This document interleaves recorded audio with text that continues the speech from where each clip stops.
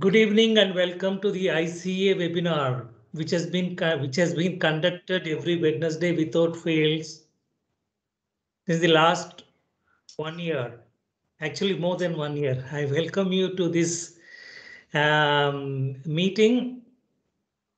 And today's topic is risk assessment in anesthesia and critical care whenever we do something, we always uh, look at the risk and benefit. And if the benefit is greater than the risks, then we go ahead with it. And uh, to assess the risk, we have several tools available to us. So I would like to, uh, I would request the faculty to dwell upon this matter and give us the current information. And uh, to start with, I would like to introduce Dr. Manjula Sarkar, who is a professor in anesthesiology at the DY Patil Medical College in Mumbai. She is very well known and uh, a prolific speaker and author. And then we have Dr. Poonam Malhotra, who is a professor at the All India Institute of Medical Sciences, New Delhi. She's uh, an expert in cardiac anesthesia and transesophageal echocardiography and ECMO. Then we have Dr. Ganapati Arumugam, another star from South India. Uh, he is a senior consultant in Apollo Hospital, Chennai, and uh, he uh, has several accolades. And with this uh, brief introduction of the panelists come moderators, I throw open this uh, webinar and invite Dr. Manjula Sarkar, Poonam and Ganapati to carry on. Dr. Manjula Sarkar, please. Uh, thank you, sir, for uh, kind uh, introduction of mine to this uh, forum. And without delaying, I would like to call upon the first speaker of the day, Dr. Kloesel, as sir said that risk scoring in anesthesia is really important to assess the patient outcome. Dr. Kloesel is going to talk on ASA physical status classification system, how this system is going to be beneficial for us for the patient outcome. Dr. Kloesel, you can. Share here. Can everybody see the slides? Yeah, we can. Okay, thank you very much. Thank you for the kind introduction and thank you for the opportunity to speak here. Um, thank you for the Indian College uh, of Anesthesiologists for inviting me. And um, I would like to um, talk a little bit about uh, the ASA physical status classification system, the complex of risks.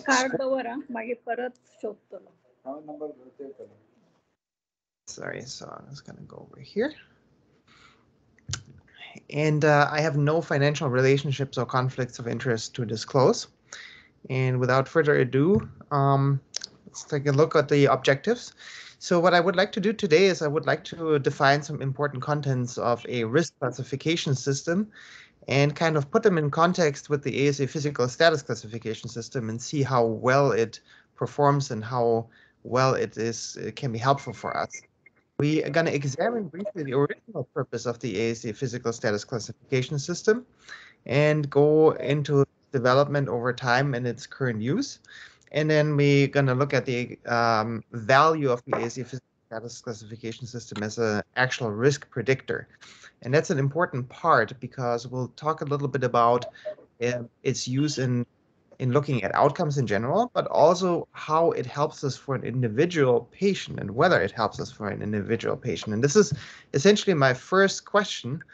And this is the most um, difficult part because by the end of this talk, and I don't want to kind of spoil the surprise, but by the end of this talk, I really want to put the ASA physical status uh, classification system into perspective and potentially even encourage you for individual to actually look at other validated risk prediction systems. And why is that? Because we know that for large aggregate data, the SAPS performs to a certain degree pretty well.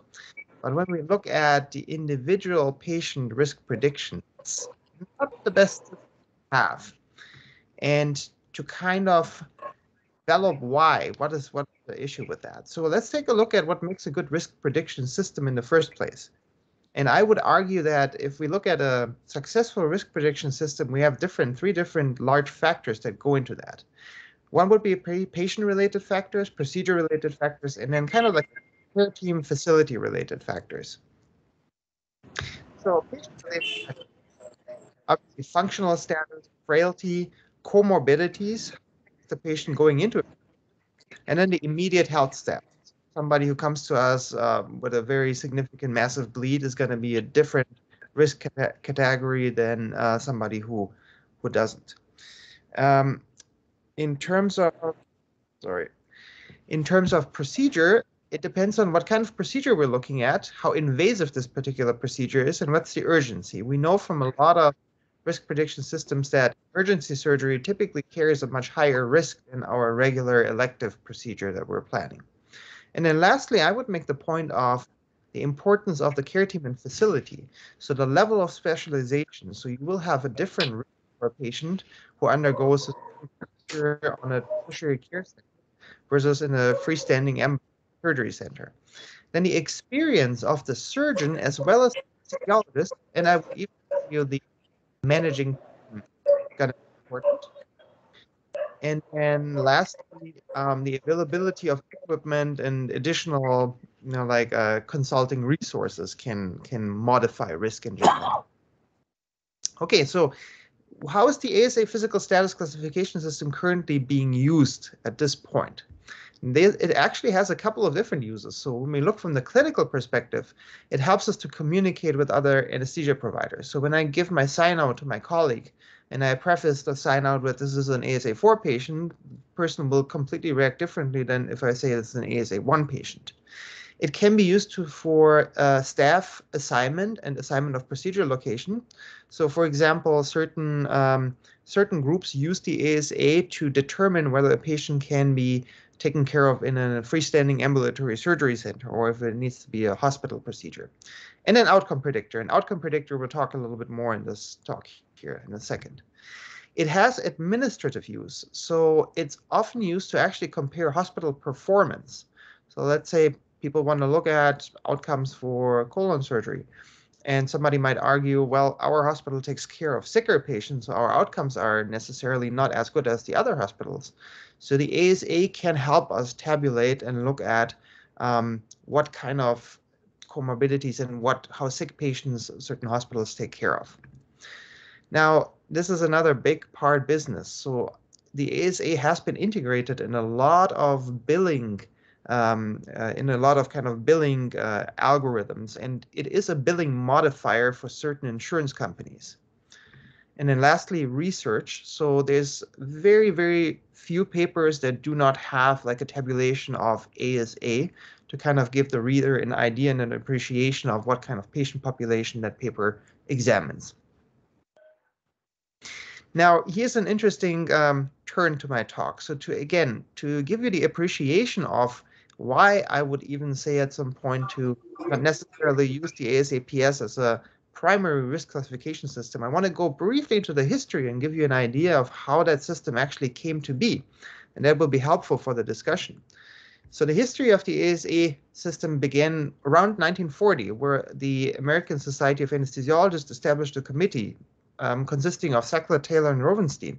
And the goal of this committee was to study, examine, experiment, and devise a system for the collection and tabulation of statistical data in anesthesia.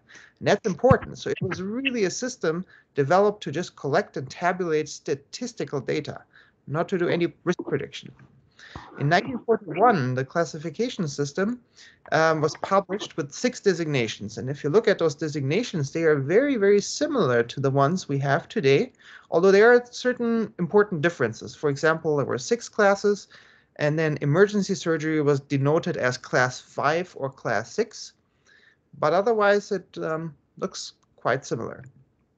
Now, if we go to 1961, Dripps and colleagues pu published a paper, The Role of Anesthesia in Surgical Mortality. And for this paper, the group created a new system based on Saklad's original system. And this system really looks like the one we have with like slight modifications. So ASA1, a normal healthy patient, ASA5, a moribund patient. Now, in 1962, that five category was adopted by the ASA House of Delegates. And there was a resolution that this system is going to be carried further, um, further from here on on. And it was published in the ASA newsletter and an anesthesiology journal. And then since then, there have been like smaller modifications. So in 1981, there was a small modification that changed the ASA 5 from uh, patient that is not expected to survive 24 hours with or without the operation to a moribund patient who is not expected to survive without the operation. So a small change in the wording. In 1983 saw the uh, addition of a sixth category, ASA6, a declared brain dead patient whose organs are being removed for donor purposes. And then the most recent two modifications came about in 2014, where patient examples were added to the ASA system to help um, people to kind of categorize uh, patients a little better. And then back in 2020, there were pediatric and obstetric patient examples added for each category. And that leaves us with what we have nowadays. This is something that um, can be accessed at the ASA website. And as you can see here, we have our classifications one, two, three, four, five, and six. And we have a good amount of examples added, adult examples, pediatric examples, and obstetric examples. And that's the current system that we're using clinically in the operating room. Okay, so what's so interesting about the historical perspective? Why did I um, make you watch me talk to all of those? The reason is that the original intent of Saklad, Taylor, and Rovenstine, who back in 1940 formulated the system, was never to be to use it as a risk prediction tool. It was, again, a statistical tabulation of things. And so, interestingly, Saklad back in 1941 kind of recognized that the system could be used to determine operative risk or anesthetic risk. And he, in his publication, directly commented on that. And I read that, I will read that from here. The attempt to determine a patient's operative risk may be of value in prognosis, but such grading of patient is useless from a statistical point of view. It is useless from several standpoints, the excessive number of variables to be considered, the tremendous degree of variation in different clinics and different physicians, and the complete lack of agreement as to definition of terms. So he already recognized that a good risk predictor has a couple of other things that should flow into it to give you um, the best individualized risk that you can get. And so the ASA physical status classification system is designed to only look at the patient factors. So we want to know what the patient's physical status is at the time you as the anesthesiologist see the patient before the patient goes to the operating room. But there shouldn't be any procedure related factors or any care team or facility related factors go into that decision what ASA classification this patient gets um, assigned. Okay, so to compare this very briefly to other risk prediction tools, validated risk prediction tools that are out there. So the RCRI, the um, American College of Surgeon NSQIP risk calculator, the STS risk calculator, and the P-POSSUM. What you're going to see here, a very, very usual trend is all of those risk prediction systems have multiple patient related factors. So it can be age, it can be heart disease, it can be lung, many, many different things. But every all every one of those risk prediction tools in some way carries the type of procedure or operative severity, and many of them also include emergency case classification. So again, somebody who comes from an emergency case is a much higher risk for a problematic outcome. Okay, so knowing that the ASA physical status classification system is originally not designed to function as a risk prediction tool, how does it actually perform if we make it a risk prediction tool? So interestingly, the physical status is definitely associated with postoperative outcome.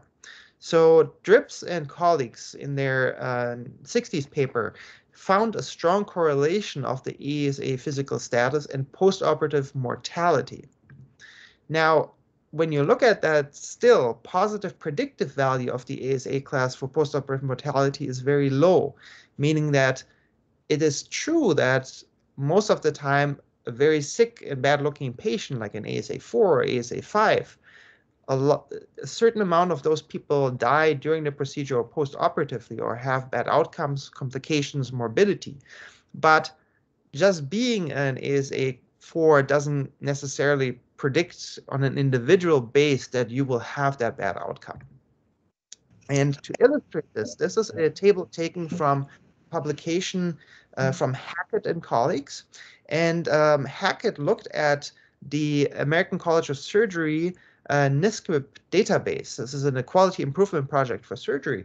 And they actually looked at 2.2, almost 2.3 million patients and looked at uh, complications and death rates. And as you can see here from the um, tabulation is that it's true. An ASA status 5 patient will have a 71% complication rate and a 50% um, death rate. But the problem is on an individual base, which one of those ASA4 patients will have that bad outcome? The ASA is not really helpful to telling us that. And to kind of um, illustrate that, let me walk you to an example here. So these are three patients, and these are actually taken from the you know, ASA um, uh, kind of tabulation of the ASA physical status. So our 50-year-old BMI 34 hypertension controlled um, for shoulder arthroplasty is an ASA2. The next patient on end-stage renal disease on hemodialysis is an ASA3. And the last patient who had a recent um, MI is an ASA4.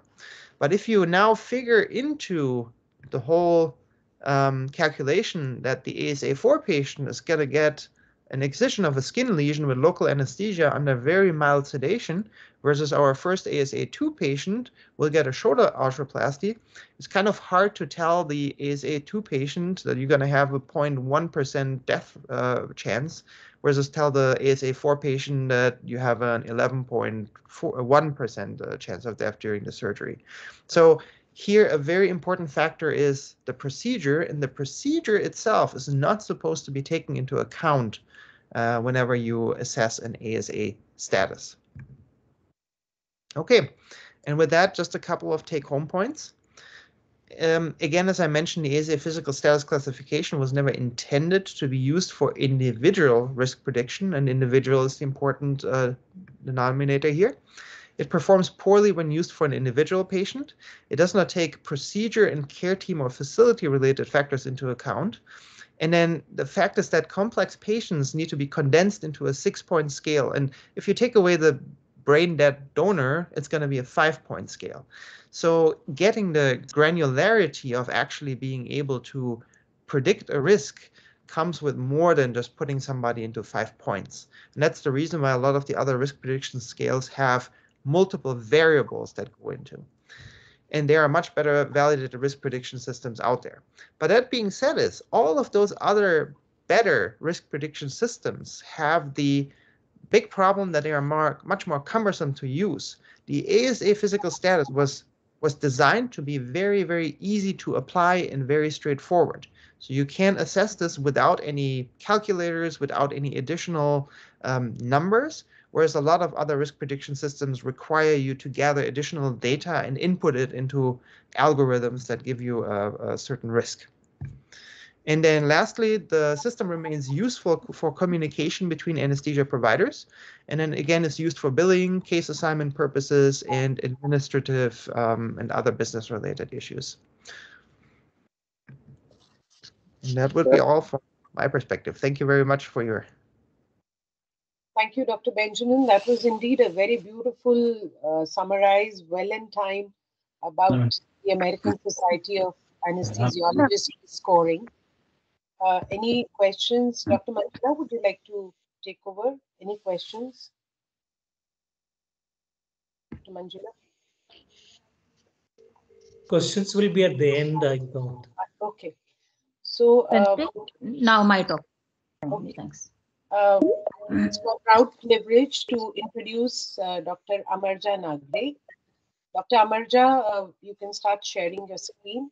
Dr. Amarja is going to yes, to us about risk scoring for non-cardiac surgery in a cardiac surgical patient. We all at IACTA are well aware of her as a blossoming cardiac anesthesiologist with a robust number of publications to her credit. She's working as an uh, associate editor as well as a consultant uh, cardiac anesthesiologist at Aurangabad at the Kamalnayan Bajaj Hospital. Uh, she's an awardee for many awards um, in various places, and more than anything, she has spoken very voraciously on TEE as well as transthoracic echo. Today, she would be speaking on risk prediction scoring for non-cardiac surgery. And something like this is very, very important because, uh, as Dr. Benjamin rightly pointed out, we have so many factors which give us a calibrative power. They tell us so much about the difference between the observer and the predicted risk, but nothing tells us how to overcome a bias when we may have a bias as a human being in predicting the risk when we triage the patients in an emergency or when we see them in an ICU. So over to Amarja for the cardiac patient and risk scoring in non-cardiac surgery. Uh, thank you, madam, for the introduction. And uh, I would like to uh, thank uh, Indian College of Anesthesiology and uh, Dr. Murlidhar sir and the whole organizing team for having me here today. And uh, today, let us discuss on the risk scoring for non-cardiac surgery in a cardiac patient.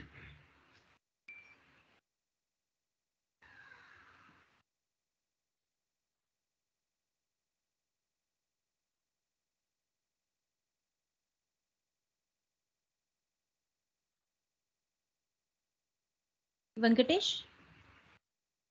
Uh, what 17 or 12 is? I'm not very sure. Uh, uh, so uh, the major perioperative cardiac on, estimated to complicate between 1.4% to 3.9% of the surgeries. Most cases they elective. There is always opportunity to implement the strategies to reduce this risk. The incidence of the major adverse cardiac event of death or uh, myocardial infarction perioperatively is the first related to baseline risk. The timing of surgery after a recent myocardial event also impacts the rate of perioperative miss. The ACC AHA guidelines recommend at least a 60 day interval between an acute coronary syndrome and elective non-cardiac surgery. So what are the complications that this patient may have uh, while undergoing the non-cardiac surgery. The major complications are myocardial infarction, pulmonary edema, ventricular fibrillation, cardiac arrest, or complete heart block. Now, there are these few factors which always have to be considered while assessing the cardiac risk. These are the patient-related factors, the surgery-related, and the test-related factors. The patient-related factors are mainly age, the chronic disease if the patient has any like uh, coronary artery disease, diabetes, hypertension, functional status of the patient, medical therapy if he's on any uh, drugs, the implantable devices, previous surgeries, and the surgery related factors like the type of surgery, the urgency of surgery, and the duration of the operation. The test related factors are sensitivity and specificity of that particular test and the effect on management. There are also these factors affecting the cardiac risk. Apart from coronary artery disease, diabetes, as we all know, advanced age, hypertension, valvular diseases, and arrhythmias or heart defects, uh, conduction defects, permanent pacemakers or ICDs, congestive heart failure, pulmonary art, uh, arterial diseases, congenital heart diseases, obesity, and the type of surgery are also involved in uh, marking the cardiac risk of these patients coming for non-cardiac surgery. The cardiac risk also depends on the uh, risk that surgical procedure carries. Like there are few procedures which are uh, which fall into the high risk category, the intermediate and the uh, low risk categories. The high risk categories report almost more than 5% of the cardiac risk. And this involve the emergency major surgeries, particularly if they are in the older patients aortic and other major vascular surgeries, peripheral vascular surgeries, and the long or prolonged surgeries because they have large fluid shifts and blood loss. Then the intermediate risk uh, patients, because they carry this cardiac risk of less than 5%, the, hence they fall uh, in the intermediate category. These are like the carotid endarterectomies or the head and neck surgeries, intraperitoneal intrathoracic surgeries, orthopedic or prostate surgeries. Now, the low risk are those surgeries in whom the cardiac risk is generally less than 1%. This may be like endoscopic surgeries or any superficial surgeries.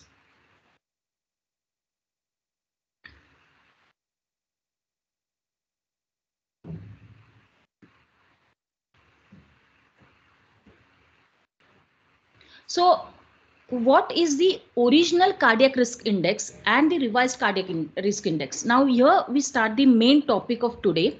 The Goldman index is the original cardiac risk index, which we uh, popularly, uh, which is called as Goldman index and we know it as Goldman index, which we will be discussing in some time. And uh, later on in 1999, Lee et al. published uh, the cardiac risk index, which we now know, which is now known as revised cardiac risk index or the RCRI. Now coming to the Goldman multifactorial cardiac risk index.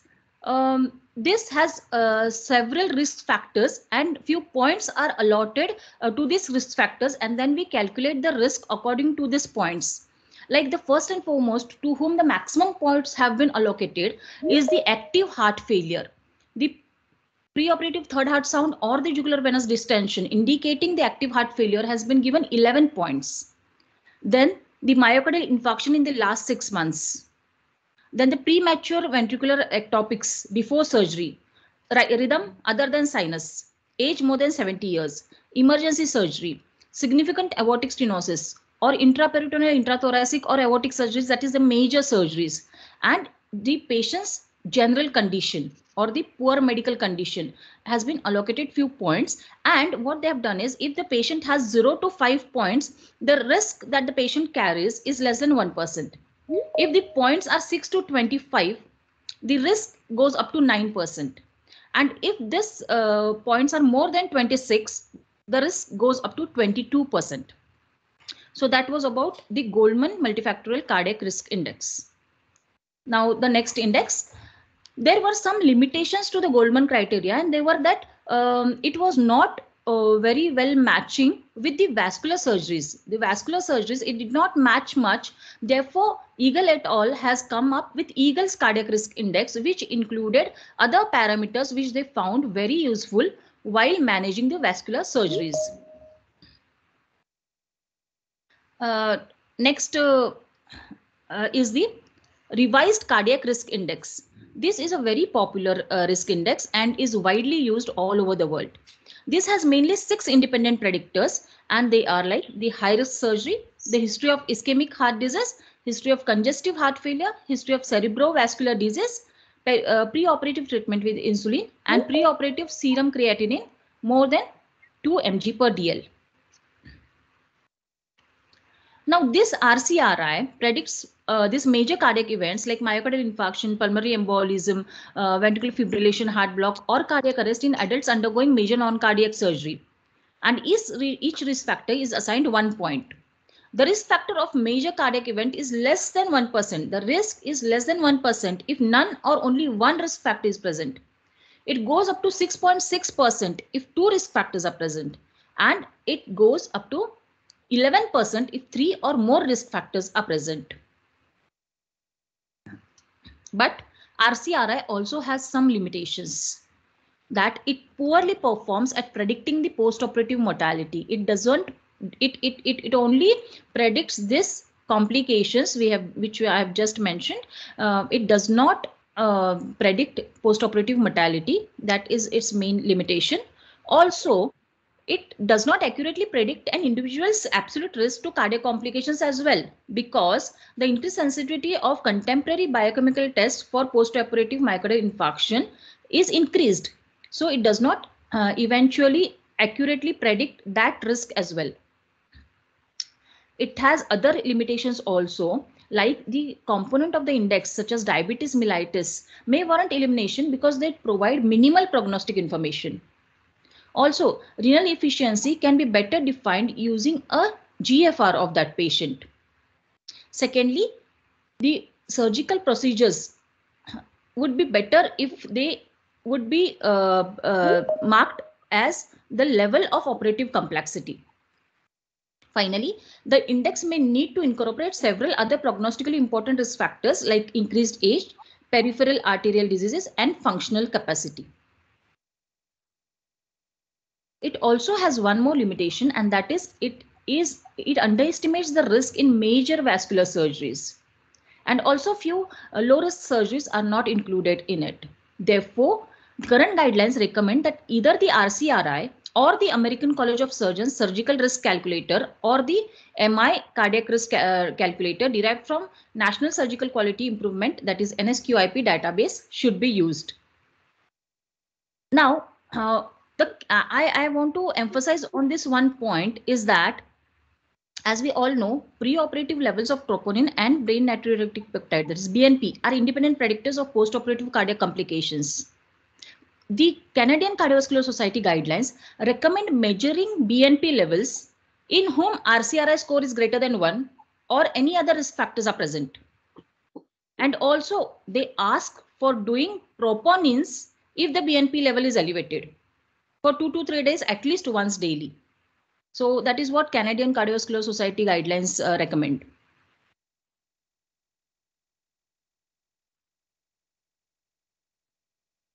So that was uh, about the RCRI. Now coming to another score, which is also a very important score, which is called as National Surgical Quality Improvement Program, NSQIP score. To overcome the limitations that RCRI had, this NSQIP score was developed and validated in more than 2 lakh surgical patients.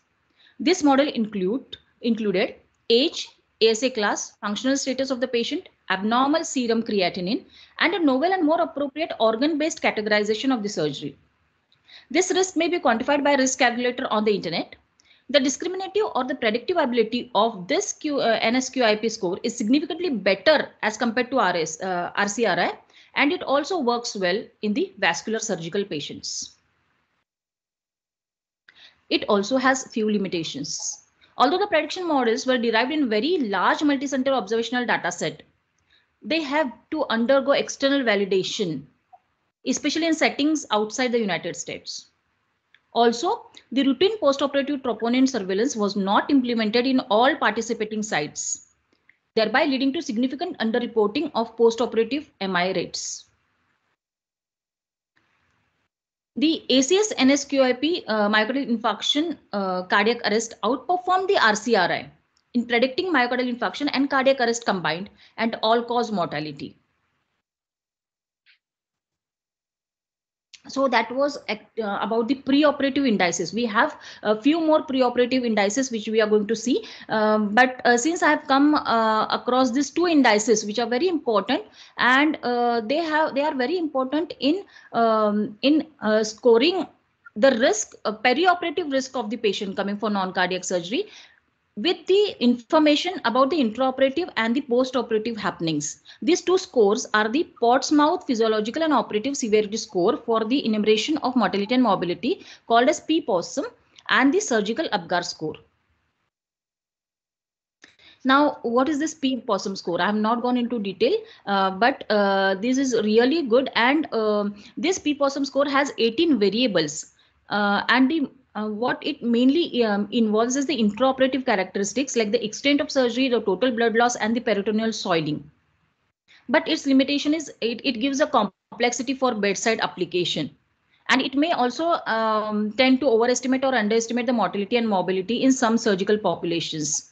Mm, this is about the intraoperative score, uh, intraoperative uh, parameters that have considered in this course. Also the surgical APGAR score. This also considers the intraoperative and the postoperative or um, parameters and it, it has a 10 point risk index and mainly it involves the uh, operative characteristics of that patient that is the tachycardia, hypotension and the estimated blood loss. This score is validated across many uh, institutes and know, countries. This index facilitates early postoperative identification for the patient who warrant more intensive monitoring. So uh, that was about this intraoperative uh, two scores uh, which I've just mentioned. Now coming on again to the preoperative scores, I, I, I have this two or three scores more. Um, like the uh, Detsky modified score. This is a model aimed at revealing the degree of cardiovascular risk in the perioperative setting in the patient uh, uh, patients who have relevant cardiac risk index. They have nine items uh, which have the uh, predictive value for the risk. And uh, these are mainly the age, the myocardial infarction within six months or uh, less, less than six months or more than six months.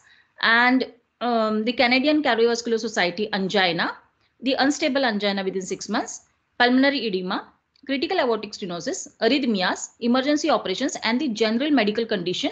And uh, they have given few points to it. And um, adding adding these points again will tell you the risk for this patient, the percentage of the risk these patients carry.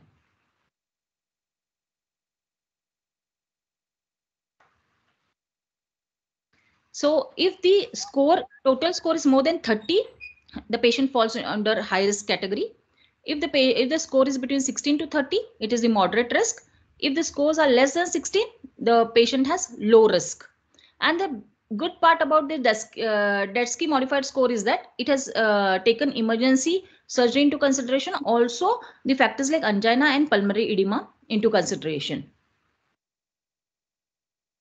Yes. Uh, now another score uh, is the Gupta preoperative risk for, uh, score for myocardial infarction cardiac arrest. Patient who underwent surgery were identified from the American College of Surgeons National uh, Surgical Quality Improvement Program database and more than 250 hospitals uh, were um, uh, were taken into consideration and more than 2 lakh patients were considered for this particular risk scoring and then more than 1000 developed perioperative myocardial infarction and cardiac arrest. Therefore, Gupta et al. came to a conclusion that there are five predictors of perioperative myocardial infarction and cardiac arrest, and they identified them as the type of surgery, the dependent functional status, abnormal creatinine, the American Society of Anesthesiologists class, and increasing age. So that was mostly about the uh, risk scoring uh, for the uh, perioperative uh, risk management of the patients. Uh, this is the American College of Cardiology cardiac risk classification, which has a few predictors. The uh, I have I have just mentioned these slides, not few points I have stated earlier, and these are the, the are the major predictors and the intermediate and the minor predictors. Then there is also John uh, modified John Hopkins surgical uh, criteria for again the perioperative risk assessment, and uh, they have uh, just divided the risk assessment into mid, uh, minimal to moderate, moderate, and severe.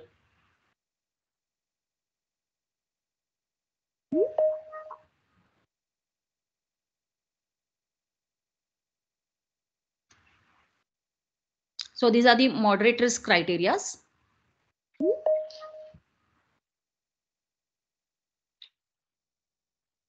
These are the high risk criterias.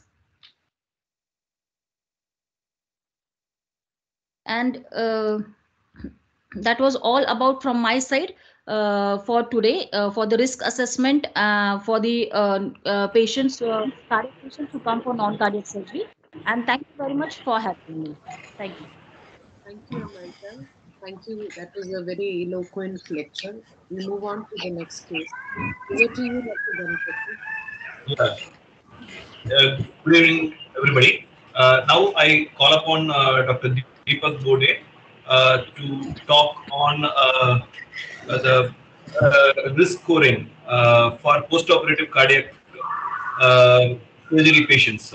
The complications like renal dysfunction, pulmonary dysfunction, and stroke, everything is very common, not very common, but it is pretty common comparing to other surgeries in the cardiac population. And uh, we want to know the expert opinion from uh, Dr. Deepak Borde. Uh, sir is a consultant cardiac anesthetist from Ozone Anesthesia, and Ozone Anesthesia Group, Aurangabad, Maharashtra.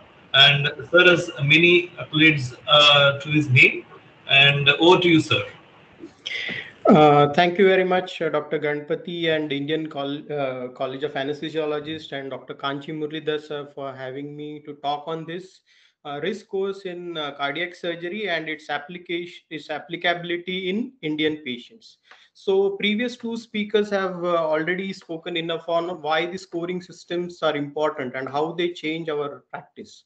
So scoring systems are pivotal in optimizing perioperative outcomes. Uh, from an anesthesiologist point of view, when we do a pre-anesthesia checkup, we obviously want to identify high-risk patients beforehand We want to allocate uh, most of our uh, resources to these patients who are high risk, and we want to predict the risk and optimize the patients preoperatively as much as possible. So this ultimately helps us in better patient counseling and to obtain informed consent and to have a better dialogue with the surgical team. So uh, at times, uh, if you have got a very prohibitively high risk in your center, you may like to refer the patient to a higher center. So these scoring systems obviously definitely help you in doing that. Uh, again, it helps us to compare among hospitals or the cardiac surgical units in one hospital. And it's sort of a positive stimulus for the cardiac surgical units to improve. So all in all, it helps us in the quality control. So my talk will be basically revolving around these two most common scoring systems in contemporary cardiac surgical practice, that is Euroscore 2 and STS risk scores. So Euroscore was uh, introduced uh, in 1999. all of us know that it has served as a benchmark in cardiac surgery. Uh, there are more than 1,400 citations uh, in medical literature about Euroscore. Uh, then as the surgical uh, it, it, there was improvement in anesthesia surgery. So ultimately, log Euroscore was introduced in 2006, and it was further improved in 2011 when Euroscore 2 uh, has been available. And this is basically to overcome the shortcomings of original score and keep up with the contemporary cardiac surgical practices. The other risk score, STS risk score, in addition to providing major risk of mortality, it also provides risk of post-operative major morbidities. As Dr. Ganpati was mentioning that uh, we are definitely uh, encountering more uh, uh post-operative kidney injuries, post-operative pulmonary complications in cardiac surgical patients. So STS score will help us in doing that. So what does Euroscore 2 tells us? It tells us about the mortality which is like a death in same hospital as the operation took place or another hospital but before within 30 days. But in addition sts risk score tells us about length of stay whether it is going to be less than 6 days that is short length of stay or more than 7 days that is long length of stay. Prolonged ventilation which is usually uh, 24 hours is the cutoff limit. Renal failure which is uh, either a dialysis or a doubling of creatinine, stroke, or a neurological deficit which can last for more than 72 hours, probably the most devastating complication after cardiac surgery, the deep sternal wound infections, and reoperation probability. So this was the uh, Euroscore 2 classic paper by Professor uh, Samer Nashef from uh, Papworth Hospital. Uh, it was published in 2012, exactly a decade ago, but still holds uh, its charm. Uh, the Euroscore 2 was very, very important because there were many important points in it. there were more than 22 thousand uh, cardiac surgical patients which were studied from 43 countries. And for the first time uh, four centers from india participated in data contribution for euroscore 2 they captured the data within one month of period divided them into two sets like developmental data set which was around 17000 patients and validation data set around 5000 patients. So previously uh, uh, NYHA classes 2, 3, and 4 were involved. They were categorized. And only Angina Canadian uh, Cardiology Society 4 was incorporated. Diabetes mellitus was introduced first time, which was not there in previous course. A previous course mentioned creatinine, but now uh, in Euroscore 2, creatinine clearance is mentioned because that is supposed to be a better predictor than absolute uh, serum creatinine value. The new model recognizes various surgical categories like elective, urgent, emergency surgery, or a salvage surgery. And previously, hepatic function was given emphasis in original Euroscore, which was not there. So now if you see, uh, typical uh, patients which we encounter, a 65 year old male patient who is a chronic smoker, who has got a chronic lung disease, who is a diabetic, who has got a recent myocardial infarction, enter all MI. His ejection fraction is 40%.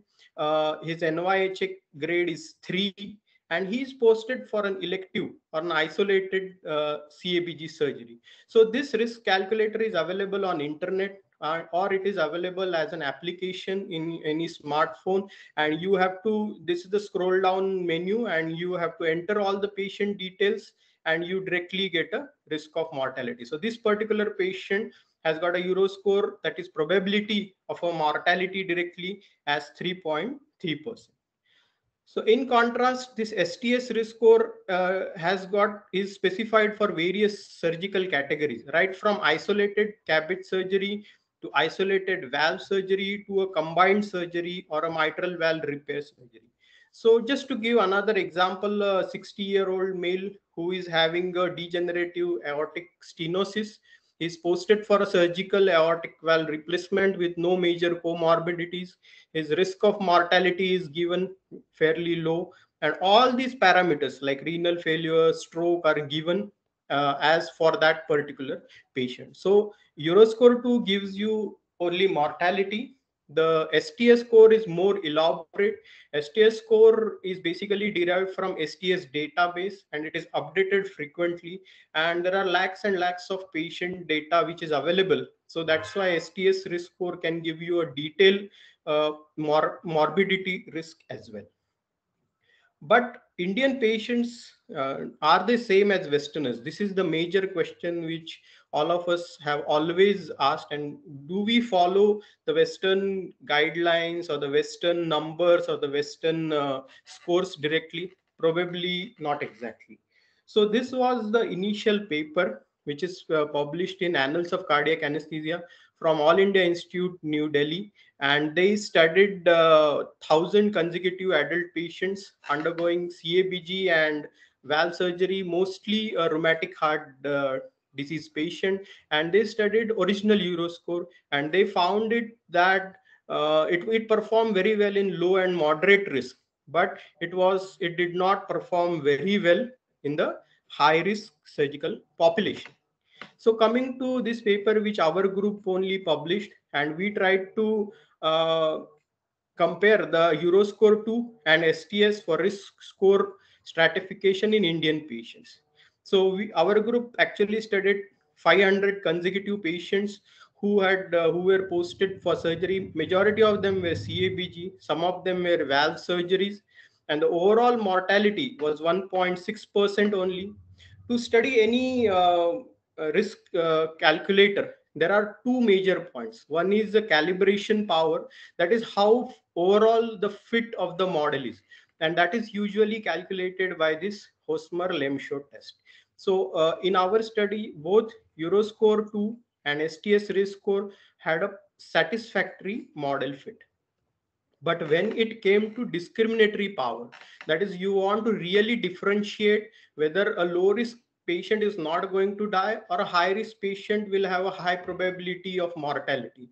So in that, both the scoring system where they did not perform very well. So if you see here, the area under ROC, if it is 0.7, then more than 0.7, I mean, uh, or if this AU ROC is more towards left side and diagonally up, that means the area under ROC is higher, that means there is good discriminatory power. But in our study, the discriminatory power was poor, that was less than 0.7. So um, previously our group included only uh, on-pump CABGs. So that's why we again performed the similar analysis in off-pump exclusive off-pump CABGs. This time later uh, in the study, we included 1,200 patients and uh, we found that Euroscore 2 particularly has got satisfactory calibration and discriminatory power. So major contributing factor in our cohort was conversion of this uh, off-pump CABG to on-pump CABG.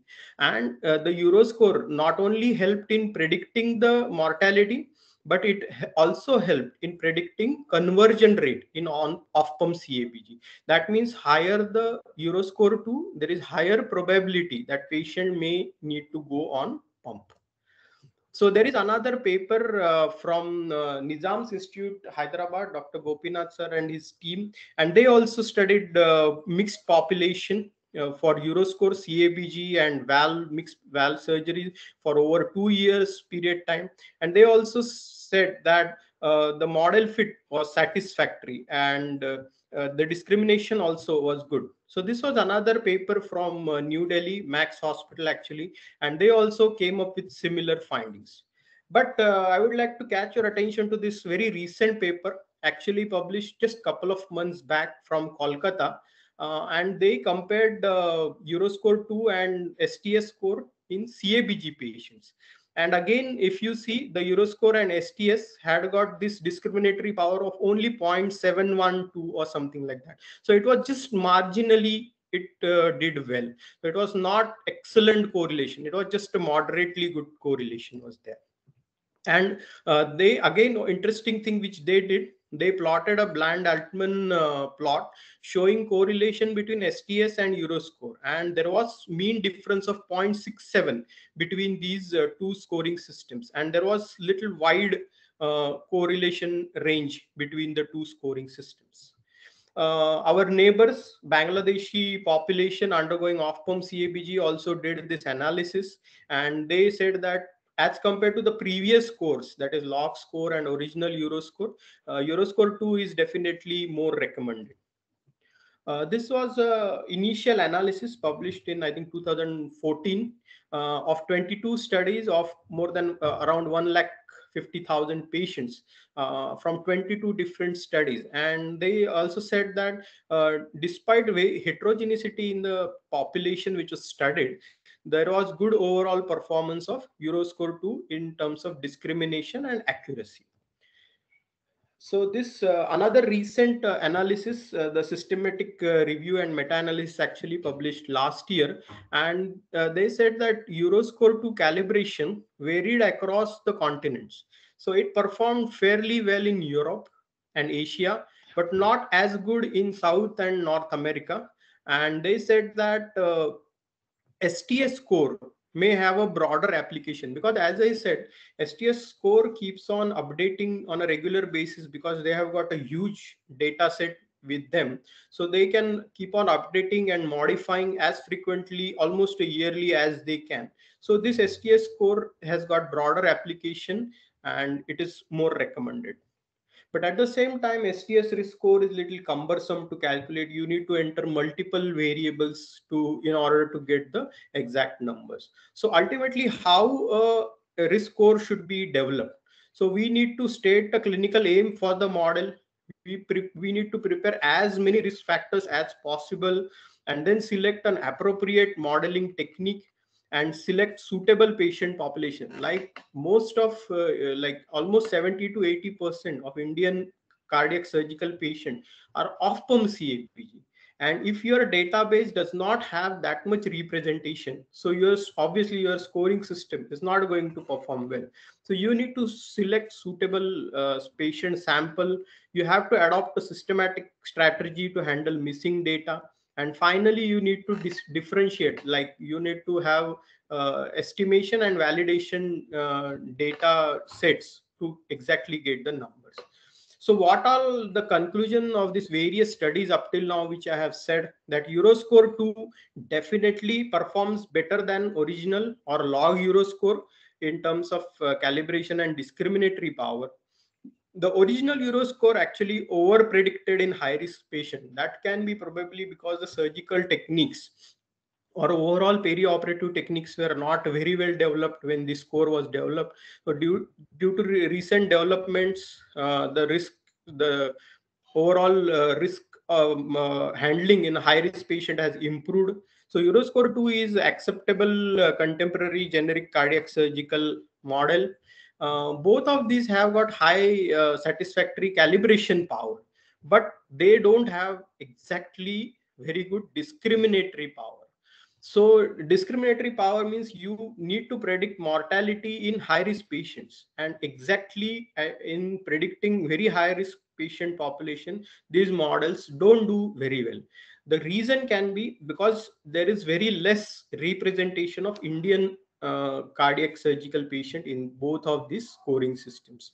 So prediction of morbidity with STS is not validated in many of the parameters. There are not many studies available. So there is a definite scope for improvement in applying these scores to Indian population undergoing cardiac surgery. And the most important step uh, for this is forming a national database, just like STS database, and utilizing this information in formulating and continuously upgrading this risk scores for better quality care to cardiac surgical patients in India. Thank you.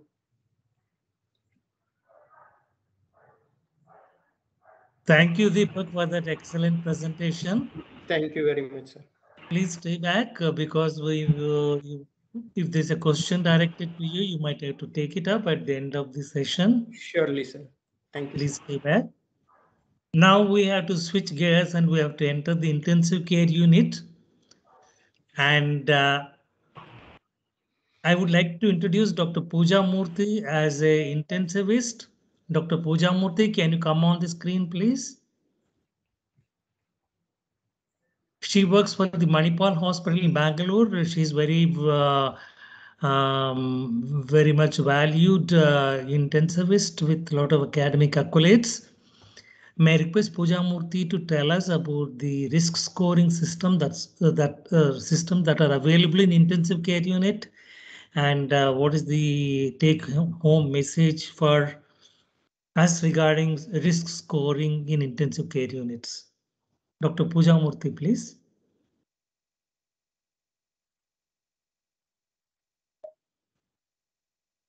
Kindly unmute your mic. Yeah, yeah. Sorry, I lost the connection. I'm just coming in. Give me a minute.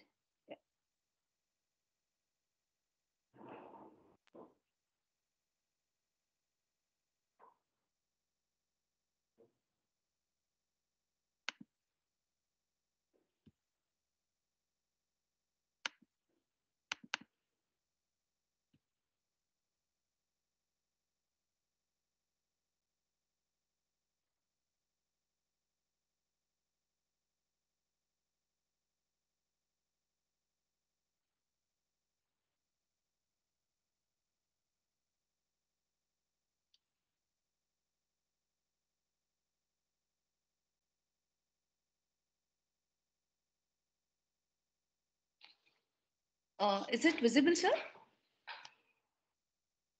Hello?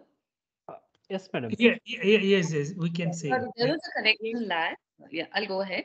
Uh, thank you, Dr. Murlidhar and uh, the entire organizing team for having me here. Uh, the topic which we are going to deal today is going to be a predictive risk scoring system in the intensive care. Uh, let us uh, deal with the following topics today. One will be the introduction part, and also let us see how it has developed uh, the scoring system, especially in perspective of intensive care unit. Uh, we will also discuss the most commonly used ones, the scoring systems like Apache, and also try to conclude it. We all know that death is certain, like uh, Lord Krishna in the Gita has told us that death is as sure as a person is born. So death is certain, but can we predict it? That's the big question. Mortality prediction is not new. It has been attempted uh, ages across. Hippocrates also has attempted to predict mortality uh, in the age old days. But uh, why is it so important? Because death is a daily affair in intensive care unit. But of course, with advances in therapies and improvement in uh, significant uh, uh, improvement in significant treatment modalities, mortality has definitely improved. But how do we do it? Definitely, subjective is the most common one. A physician is a great predictor of a mortality. We get to know when we see a patient that uh, if he's going to kind of survive, not survive. Objectively, definitely using scoring systems. Uh, what is a scoring system? A scoring system definitely comprises of various physiological and laboratory data. It gives us a number, a score, and this, when it is put into a computer based algorithm or an equation, will generally help us to predict outcomes. Uh, why do we need a scoring system? Generally, most often, we also want to know how it is going to be. For example, if my It's eight o'clock. admitted in the hospital, I want to know if how is the outcome going to be? So i want to know what is the mortality the other outcomes like how long it is going to be in the icu for the physician it is definitely going to be about clinical decision making. So even though a patient may look very stable but if they have a high risk severity score the overall outcome may not be great. And uh, of course uh, in benchmarking for example comparing various uh, icus across the country, across the states. In fact, uh, even the uh, insurance companies, the medical legal system in the US uh, are taking into account the scoring systems. How were the scoring systems developed? So it all started in the 80s, and now we had Apache, SAPS, Moving on to the SOFA score, which is very important for us in sepsis. And also right now we have the recent ones that is uh, uh, uh, the Apache 4, which is the recent one, and also uh, SAPS 3. How are the scoring systems classified? They can be classified as first day scoring systems or repetitive scoring systems. The first day scoring systems are mainly the Apache, SAPS, and the mortality prediction models. The repetitive scoring systems, the most common one is the SOFA, that is sequential organ failure assessments. But before we jump to what these scoring systems are, let us understand something about scoring system. I think Dr. Deepak also told us what the scoring system is in perspective of cardiac surgery. But for now, it generally comprises of a score and also has a probability of outcome, that is mortality. So how was it developed? So various uh, methods, mo most important is a large number of uh, people from across several ICUs are pulled in for the data and a data collection happens. After that, a score is calculated. Then the most important thing is validation and customization. So it has to be validated and customized to the population interest of interest and has to be periodically calibrated so that it is up to date to the treatments and newer changes that happen. Coming to data collection, uh, two things are important here. What are the variables measured and when they are measured? So uh, Apache uses a lot of physiological and general health data. There are various scoring systems like SOFA, which uses concise data. Uh, in terms of timelines, most of them, the generalized scoring systems do it in the first 24 hours of ICU admission. And uh, there are other uh, repetitive scoring systems like SOFA, which do it periodically, like every 48 hours. These are either put into a computer generated algorithm or an equation to give us a predictor or a mortality prediction. What are we interested? All of us are interested to know the mortality, but can we do better? Definitely some of the newer scoring systems can predict the length of ICU stay. There are other various scoring systems that help us in resource utilization, the frequency of laboratory tests, and uh, the number of days on mechanical ventilation. So all these things definitely are being uh, predicted. But whenever we talk about a scoring system, we have to understand two important terminologies. One is discrimination and the other is calibration. What is discrimination? Discrimination means how accurately a given score predicts outcome. For example, say uh, a scoring system has predicted a mortality of 60%. So is it actually 60%? Is it less or more? That is what discrimination says. And it is most often uh, given by a, a, a, score of uh, area uh, AUROC, that is area under the receiver operator curve, if it is more than 0.7, or if it is very good, if it is more than 0.8 and 0.9, shows very good discrimination. Calibration is how the scoring systems performs across a wide range of predicted mortalities.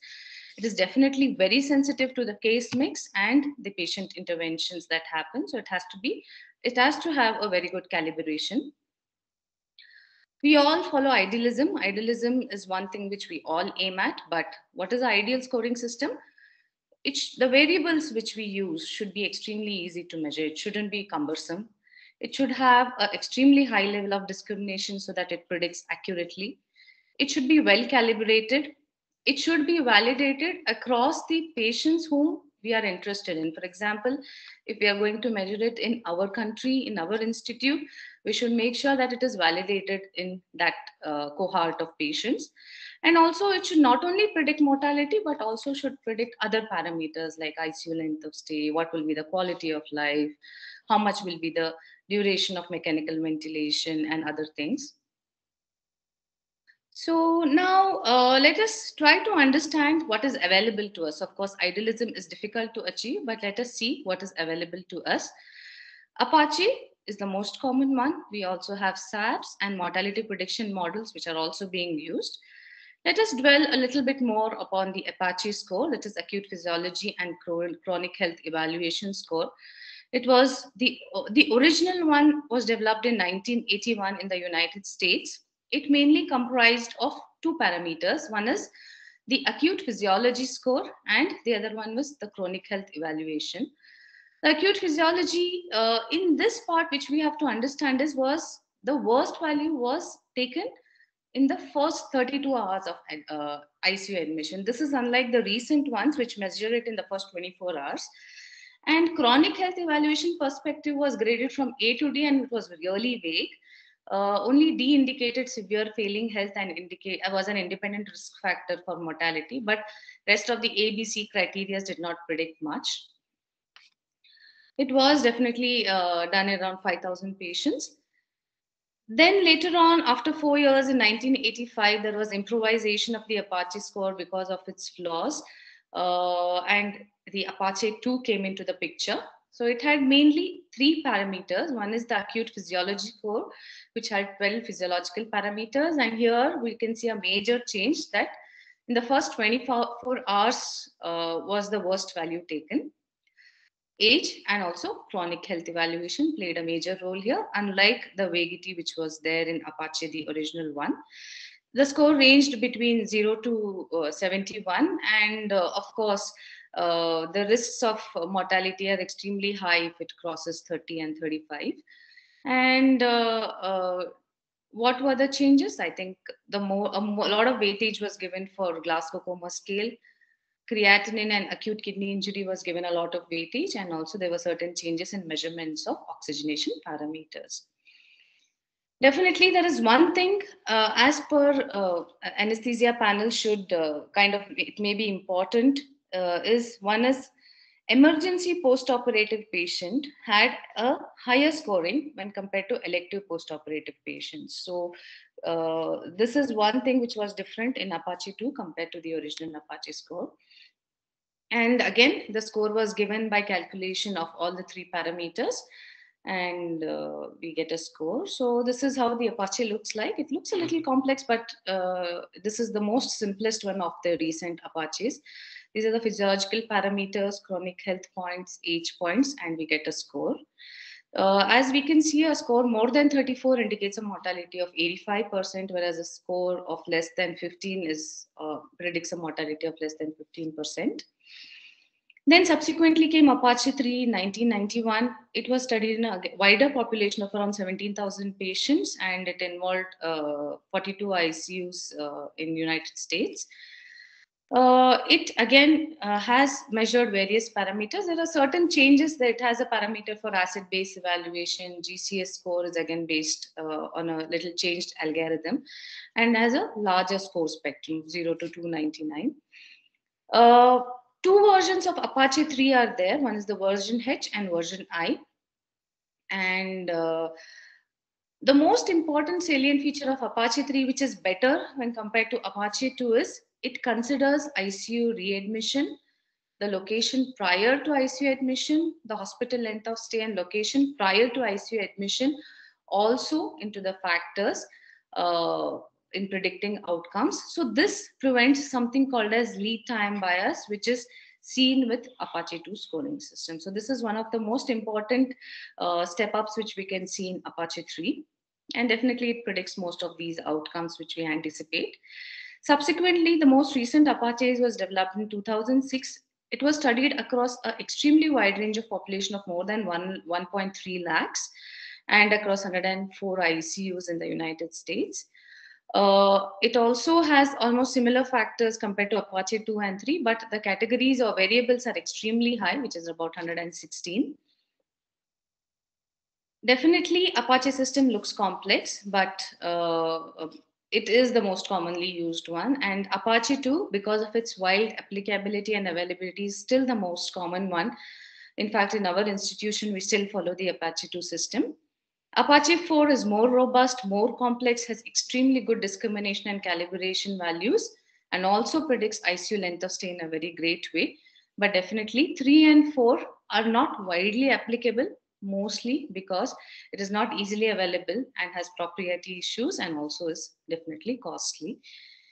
So the other models which we know of are simplified acute physiological scores, uh, which again, the major advantage of this is it is extremely generalizable and has good external validation because it was validated in 35 countries.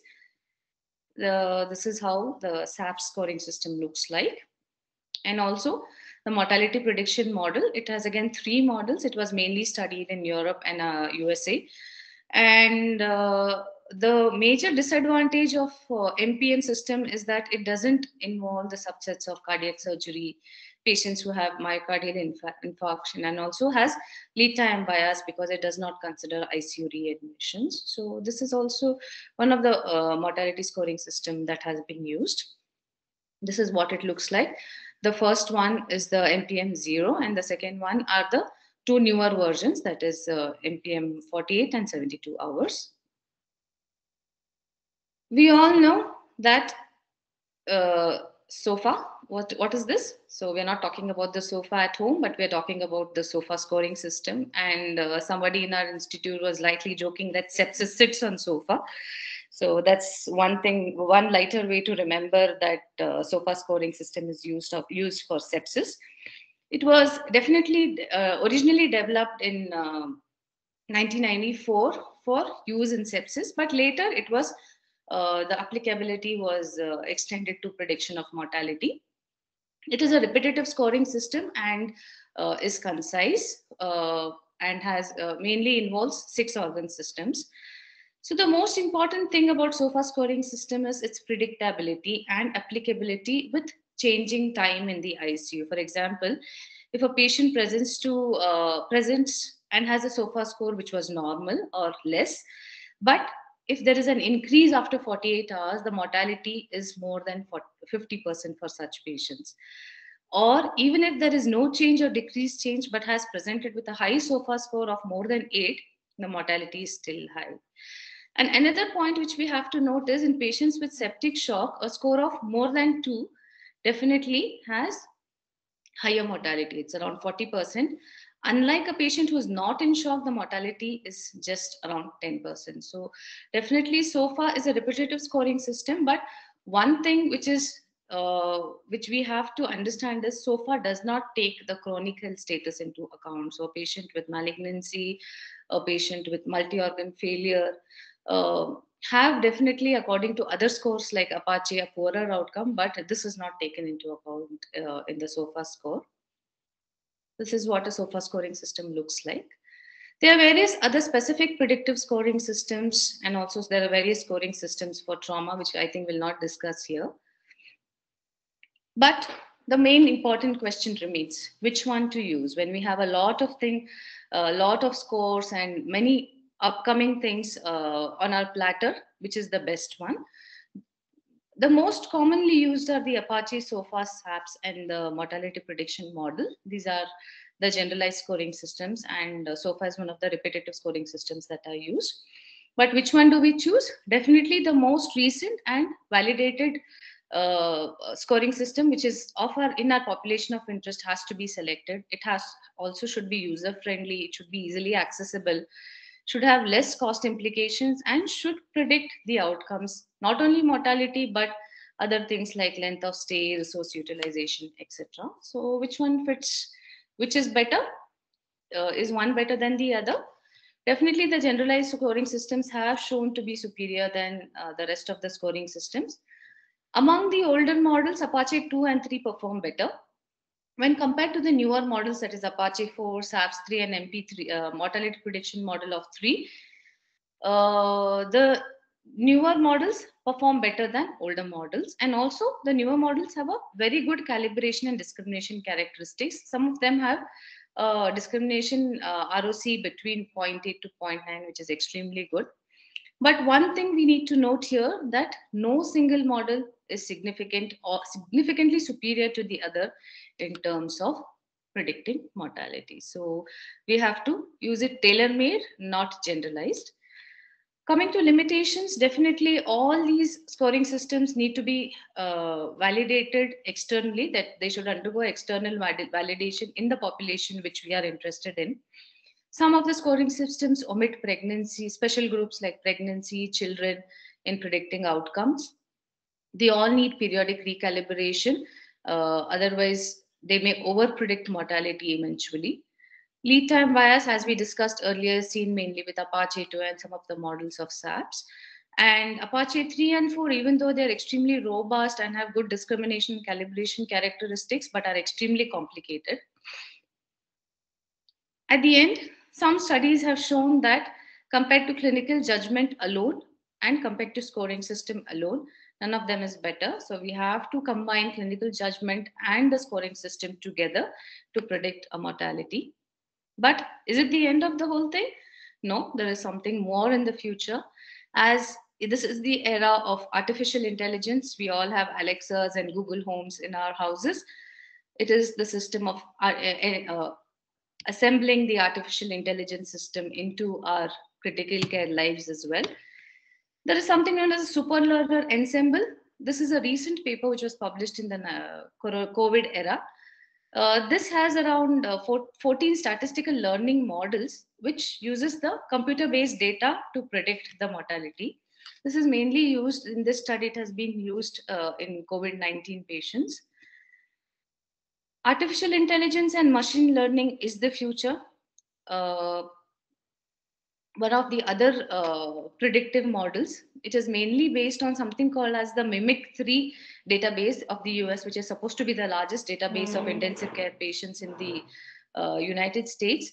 So this has used that database to derive this scoring system. It is a hybrid neural network approach and it is a artificial intelligence mortality score. So this system has uh, studied it across uh, three groups. One is at day three, at day seven, and at day 14. And all of them have shown to have extremely superior uh, discriminatory powers as high as 0.8 and 0.9. And among them, the mortality prediction at day three was far more superior. So it is not, uh, it will not be a, a, dream or a distant vision that uh, we enter the ICU and we get a mortality prediction of our patient soon. So let's look forward to that. Thank you, everyone.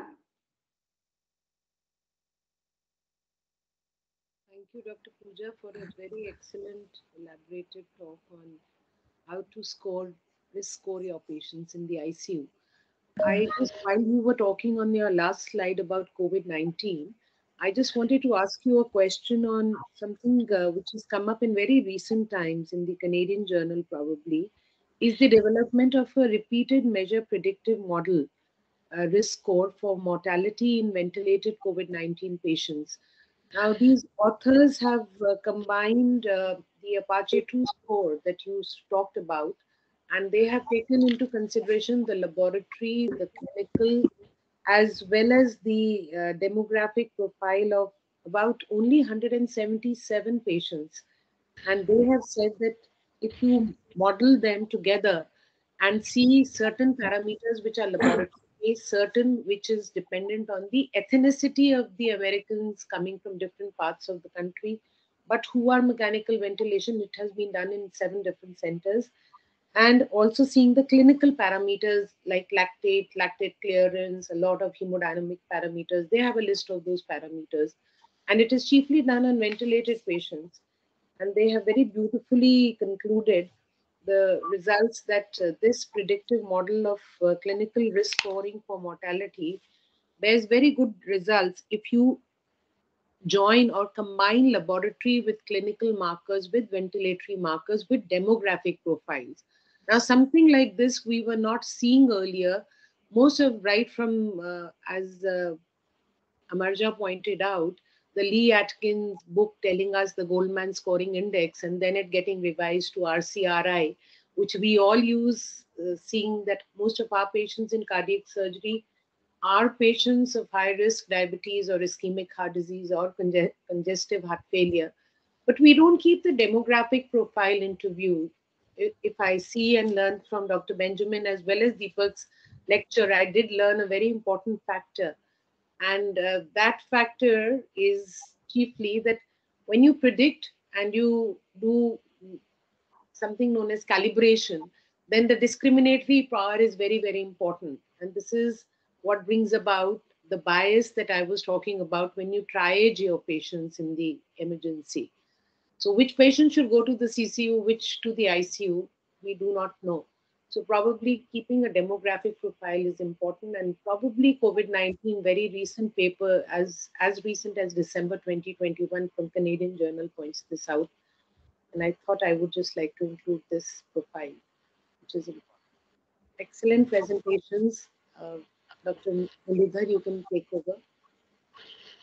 Uh, uh, lovely presentations. All the four, these four speakers have done extremely well. Dr. Benjamin, Amarja, Deepak, and Pooja. Thank you so much.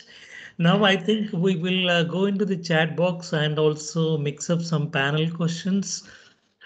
So first question is to Dr. Nagare. Amarja, regarding RCRI, history of ischemic heart disease means what? What are the questions you would ask during the risk assessment? Somebody wants to know? Uh, yes, sir. History of ischemic heart disease. Yes, uh, this is a question by uh, Dr. Srirang Kulkarni, and I would like to answer him.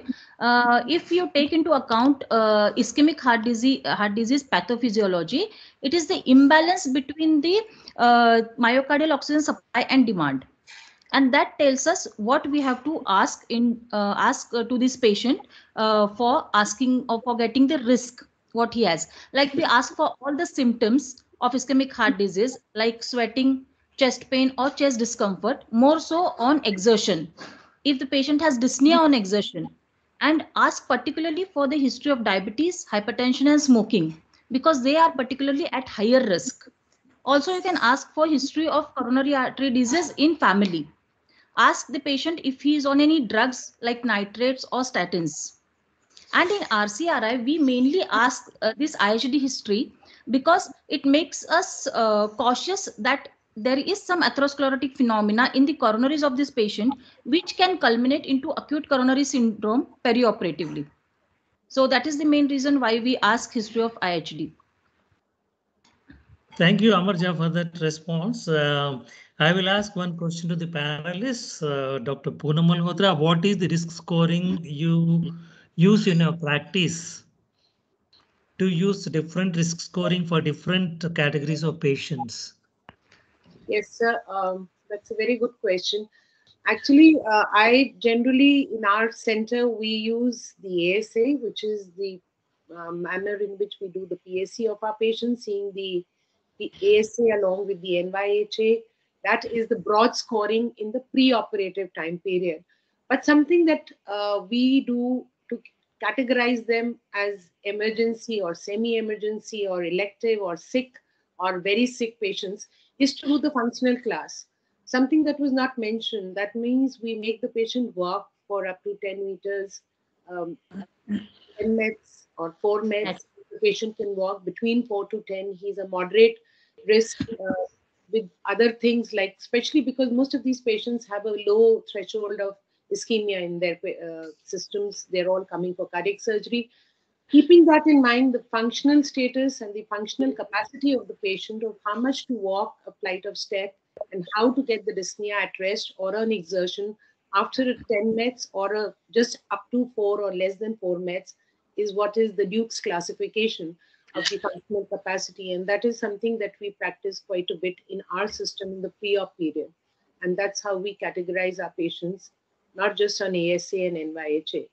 The third thing that we do for most of our patients who are coming for uh, elective surgeries is the RCRI. We, we do the device uh, index in a very big way because most patients are diabetic. Most patients, as Dr. Ganpati also pointed out, have an AKI, and we do suspect that with a low ejection fraction, these patients will have a immediate post uh, surgery AKI impending.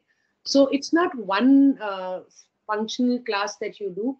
In the ICU, you use the SOFA scores very rampantly. The all the three SOFA scores we were using, but generally we tend to use Apache 3 with SOFA 3. That is what we are using. A very favorite of all of us is the lactate clearance with the PO2 and the base excess.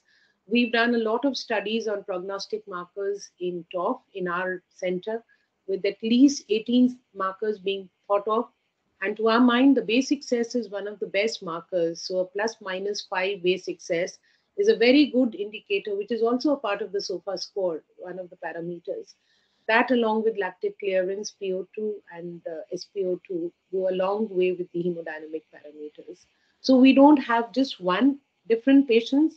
Yes, you categorize them differently, whether they are in the ICU or the pre-op or intra-op, most of us do still follow the Euroscores. Uh, simply six minutes walk test is also quite popular nowadays and people are using that test as the simplest test which we can do it anywhere. Very right, very right. Yeah. So may I request all the panelists and the speakers to have the videos on? Uh, Deepak Borde, there is one comment about use of inotropes and IABP in the preoperative surgical patients. Yes, actually, uh, actually, sir, Eu- Euroscore two, uh, Euroscore two has very clearly mentioned critical uh, preoperative status. So in critical preoperative status, all these parameters have included, like somebody who has received a CPR in recent past, or somebody with a balloon pump, or somebody who is on inotropes for more than 24 hours. So those are all are categorized as critical, and accordingly, the log value increases exponentially. So the patient automatically goes in a very high risk state if he has got a preoperative balloon pump or preoperative inotropes or he has received a CPR. Right. Uh, Dr. Kloesel, uh, a 25 year old with BMI of 52, ASA3, no comorbidities, posted for laparoscopic sleeve gastrectomy, should we explain the chance of dying during surgery is 1.4%? You have replied to it, but the, for the benefit of other uh, people, if you can uh, explain it, please. Kindly unmute your mic. Sorry. Thank you. Um, so that was that was a very good question, and um, that was what I was alluding to the the level of granularity that the ASAPS affords us. So um, that patient, and I was giving an example. I was uh, putting the same information into the ACS N- NSQIP database, and that database gave us a risk of death of 0.3%, so much much lower than the 1.4%. So uh, two things. One is um, again the ASAPS doesn't take into account the procedure. So what might happen is if you look at large aggregate outcome data, uh, is that you have a pool of ASA3 patients. Some of them go for extremely, extremely challenging surgeries and have bad outcomes. And you have a pool of them that go for minimal surgeries and have very good outcomes. So we need an extra kind of an extra discriminator to know where our patients falls into that large range. And that discriminator is typically not given in the ASAPS.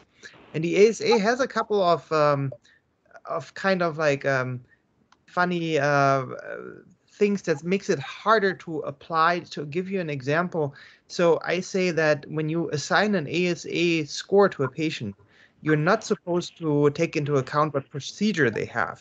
But let's say I have that healthy 20 year old that has a motor vehicle accident and is now herniating and needs to go for neurosurgery. So am I going to make this patient an ASA 1? No, that patient is an ASA 5 because that patient is essentially dying. So now for ASA 5 designations, we need to take the procedure to a certain degree into account, which makes it really hard. And then the same is um, we know for the ASA that there's a very large inter-rater variability. And that's something that the American Association, um, uh, the American Society of Anesthesiologists has been trying to address. And there are a lot of studies looking into, you know, providing examples or what can we do to reduce that inter-rater uh, variability because there's always a component of um, experience of the anesthesiologist who is who assigns that score. So let's say if you have a patient who comes to you with bad coronary artery disease, a cardiac anesthesiologist who is experienced and, and comfortable managing this patient might actually assign a lower ASA score than a person who you know just doesn't do those cases. Um, and from that perspective, because of the large variability, it's it's really hard to assign an ASA score, look at the mortality rate, and tell your patient that's your mortality rate. So um, for us, between us communicating, this is a very good score because it's easy to implement, but everything beyond that, it's it's much harder. And it was mentioned artificial intelligence. You know, it would be, I think, in the the critical care unit is probably a little bit ahead of us in that regard because at places where I worked, we had AI systems that basically calculated SOFA scores or other scores, critical care related scores. And, um, you know, our dream is for anesthesia. Is that possible too? If I have a preoperative evaluation, is there some kind of computer based way of assisting me with um, putting a number or a risk prediction number to that? And that would be ideal. Thank you. Thank you, Benjamin, for that response. We use the Euroscore app on the mobile phone for cardiac surgical patients preoperatively, and uh, that works out reasonably well. Thank you for your response. I would like to ask Dr. Ganapathy, uh, do you use organ-specific risk scoring for any given patient or you use the general uh, uh, uh generic type of risk scoring uh, in your setup and what's your opinion on this? Uh, we generally follow Euroscore only, sir. We don't follow any organ-specific uh, scoring uh, in our day-to-day practice. Obviously, we will take opinion from the specialist uh, when it comes to that organ-specific issues are there. Uh, but we follow Euroscore only, mainly Euroscore. according to that, calculator uh, we follow that and uh, we made it even mandatory for our uh, DNB students uh, and uh, people to calculate and write it on the paper uh, what is the euroscore for that particular yes. patient and as Dr. Deepak Borde said um, we find it like low risk and intermediate risk it predicts pretty well but high risk patients it underestimates yes. the mortality that, that is yes. the general feeling so we obviously, when I explain about that particular patient, that particular uh, procedure, uh, we explain definitely more mortality or morbidity uh, to the patient. Uh, so that is uh, one practical point I want to insist. Exactly, sir. And the high risk category is the one where we are actually interested the most. And unfortunately, the scoring systems don't work the best in that category. So probably we need to improve them for better fit in our population. I, I just want to add something here. There are many overlapping gray zones in this, Deepak. Wherever we feel in high risk category, let's say we are, have a patient on ECMO. This is a dilemma on an everyday use. You have a value of 40. Now, would you want to set up your heparin? Would you want to lower down your heparin uh, to make it between 50 to 60? And the moment it steps up 60, how much of heparin to give? Now, these are values which are numbers, right? But this also requires expertise, as Dr. Benjamin was saying. Sometimes the expertise of two or three consultants will overlook the numbers.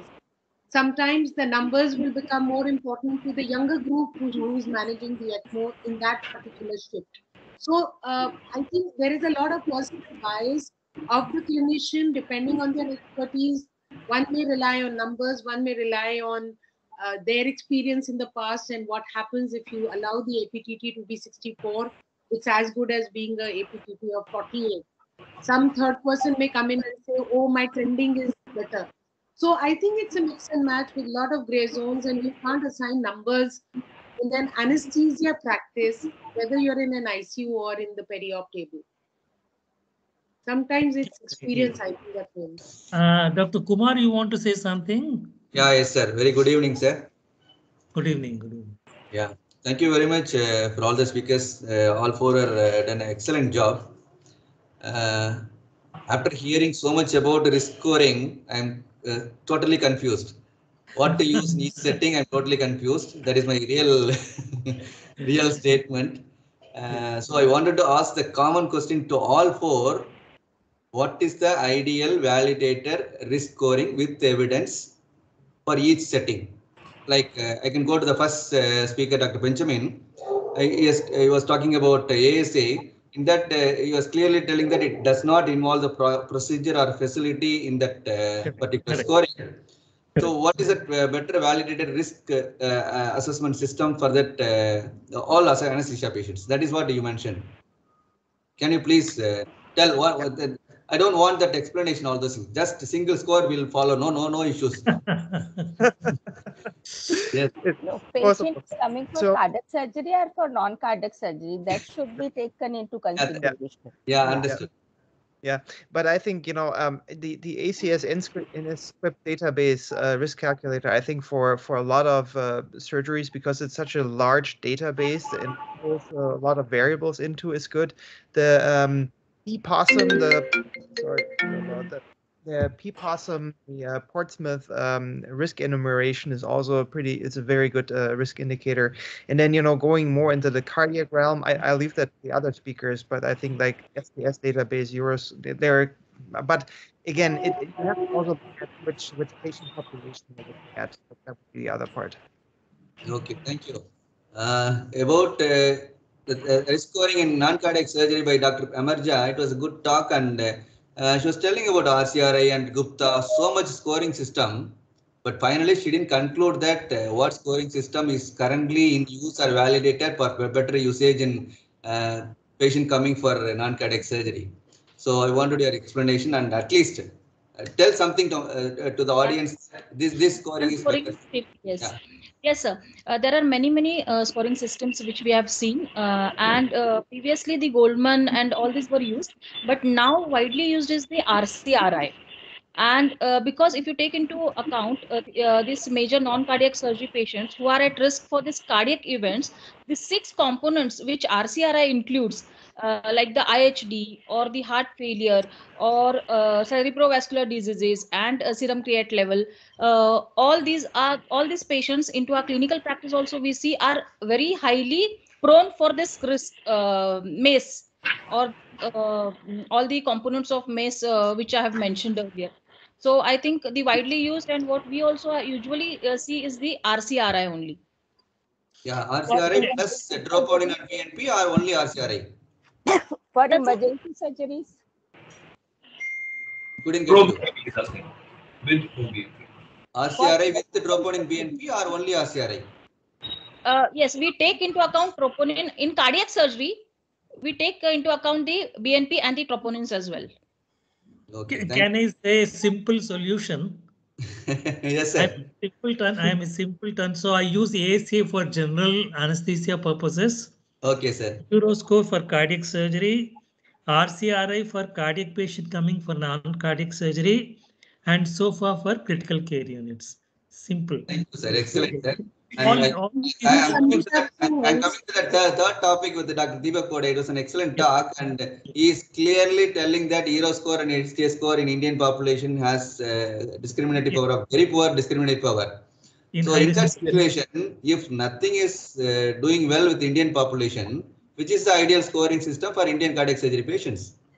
Uh, actually, Euroscore 2, I will say, because you have got it very readily available. You have got a mobile app available for it. So just as uh, you do pre-operative checkup, you can feed all the data and you get a number and you get a reasonable number. That number, as Poonam madam said, that it may not be true for that particular situation. It's a general term.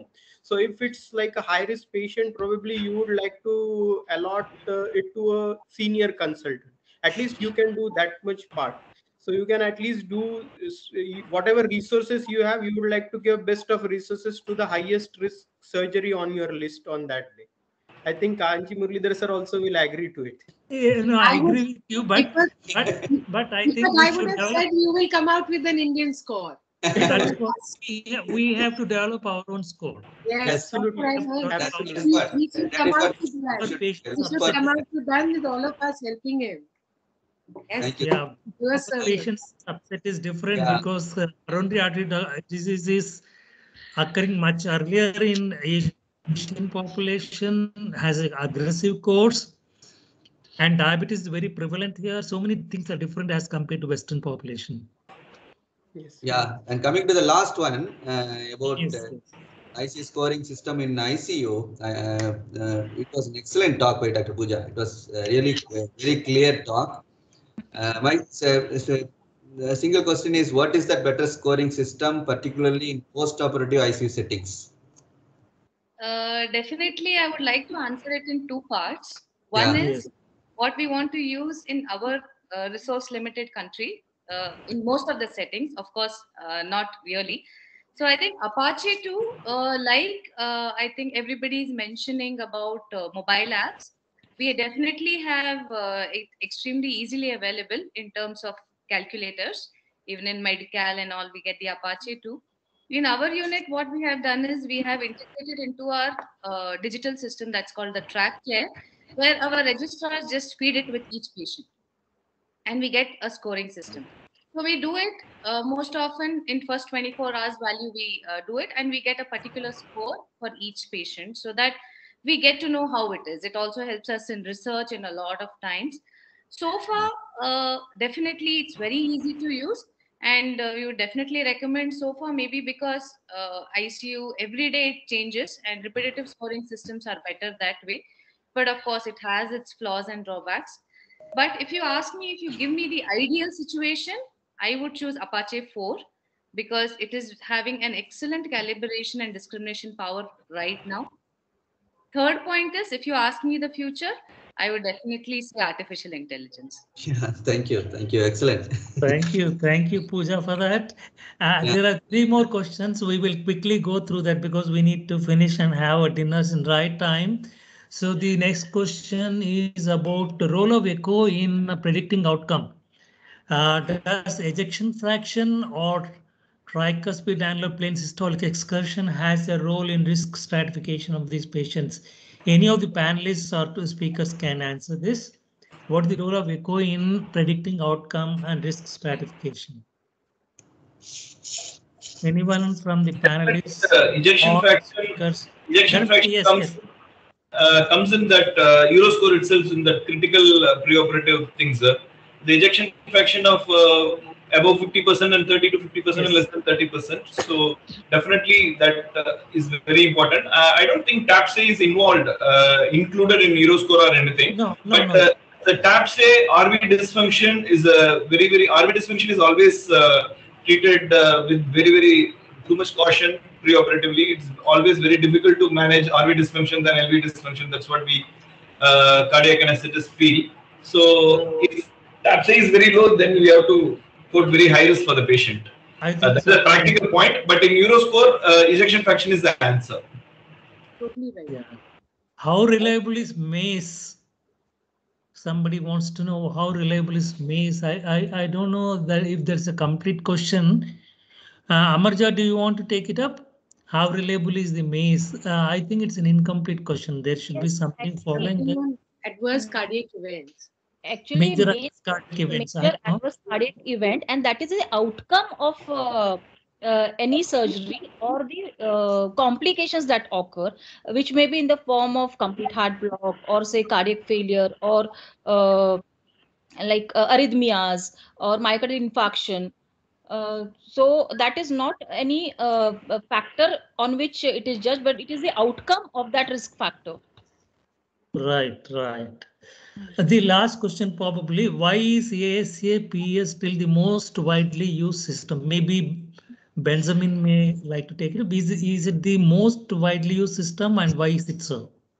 It is it is very widely used, but uh, it to answer this, it took a life of its own, ran with it, and now it's so deeply integrated that we can't get it out to say no. So it again, it still has its value. The problem was it was again never intended to be really risk prediction, but um, people took it up. So think about you know if you ask a surgeon or the gastroenterologist, they assign ASA scores when they do their you know like a monitored sedation or so and uh, billing companies took it up. So it's something that i it's hard to remove, but it's I think for us as an anesthesia um, uh, group, it would be good to kind of pivot more to other systems for risk prediction and leave the ASA as the tabular statistical um, grouping of patient and potentially looking at outcome for large aggregate data. Yes, yes. There are two other questions. Shall we go through it quickly? Uh, one is non-cardiac surgery patient with low EF. What is the risk prediction for AF? Non-cardiac surgery with low EF. What is the risk prediction for AF? I think atrial fibrillation is what's the, uh, what's the risk of atrial fibrillation in patients who have low EF? I think that's what is the question. So patients with low EF will be prone to AF somewhere or the other. And uh, one should be, one can just have a 30 to 40% prediction, just give an arbitrary number because in your mind mentally, a low EF complications will come up. One of them would be uh, perioperative ischemia uh, of any kind, sudden onset, and the other will be the development of a sudden AF on the OT table. So you will be 30 to 40% ready for a AF to happen. Yeah. And the, the, uh, the same question, I think he talks of the Chadsworth score, which again is a very strong predictor for particularly when your patient comes on these NOACs, uh, any kind of oral anticoagulant that the patient is coming for before a cardiac surgery, whether it has been done away with, whether it is carried on, when to restart it after surgery. Th- This is a Chadwick score, is again a score for AF as well as especially for those who are on oral anticoagulants, where you are going to be very suspicious that this patient who stopped a uh, oral anticoagulant, let's say dabigatran or a warfarin, some days, three days or four days earlier, or maybe some antiplatelets, what are my chances of this patient developing an AF on table? They are very high. So I would put it as a 30 40% risk predictor. Th- Thank you, Poonam, for uh, responding to that question. There's a comment from Vaishali who says that Euroscore gives an idea about morbidity and mortality, mainly for anesthesiologists to pre- prepare for the case and secondly for medical legal reasons so that uh, you can discuss with the patient and relations. I think that's absolutely correct and I agree with that statement. And uh, if any of the panelists or speakers wants to say anything, uh, please uh, do that. After that, we will be saying goodbye for today. Yeah, with, with the Yeah, permission Kumar. of, uh, yeah, with the permission of Kanchi sir, uh, I would like to welcome you all for the Actacon 2022. Don't laugh because Omicron is No, no, creating. not. yeah, yeah, yeah. We But we, we will definitely have a conference at Madurai, no doubt about it. And I, It's a physical. I humbly Your request all of you positivity shows, Kumar. Your yeah, yeah. positivity shows through. You did not choose Feb and you chose March end. It yes, shows yes, madam. your brain. Yeah, yes, madam. So We all are waiting for it. Yeah, Yes. definitely. Please, Yes. please visit Madurai and uh, arrangements, everything done pakka, and we are waiting for that uh, Omicron to settle down very quickly. I, I think it will settle. So, uh, as per the Yes. current situation, we are going ahead with the conference in March 25 to 27 at Madurai. At uh, the venue is Marriott. Uh, scientific schedule is completed. All the arrangements has been almost done. So, welcome you all for this uh, Actacon 2022 at Madurai. Sure, Thank sir. you. There'll be no jallikattu, no? Thank you, sir. Uh, yes, sir.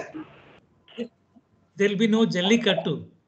Jallikattu we can arrange sir, no problem. Yesterday only finished all Jallikattu finished. Jallikattu uh, happened already, sir. If the, everyone is ready to participate, I can arrange jelly Jallikattu also, no problem. We need some surgeons then. We need some surgeons then for that. Yeah, no problem. They're also available.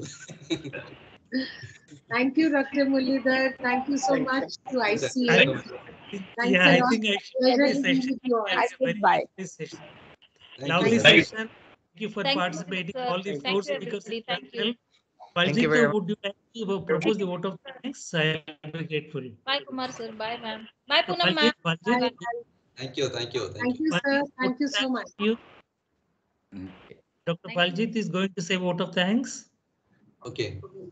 Well, thank you so much, Dr. Muralidhar, after uh, putting up such a good uh, webinar, arranging everything, arranging the speakers, and uh, all the speakers have done a great job. You have done. But to all the four speakers, uh, I must say that it was a wonderful job that they have done. And uh, Dr. Benjamin, particularly uh, all the way he connected uh, with us for this with, for this webinar. He spoke very well about ASA classification and how it helps us these days. Uh, Dr. Amarja Nagre on risk scoring for non-cardiac surgery, good talk again. And uh, then Dr. Uh, Dr. Deepak Borde for cardiac surgery. And in the end, we can't do without ICU. And uh, that's where Dr. Pooja Murthy uh, did a wonderful job with her predictive scoring. Uh, you know, and of course, all the uh, moderators. Uh, Consider Dr. and uh, Dr. Manjula Sakar, of course, for you know picking up the questions and discussing very well.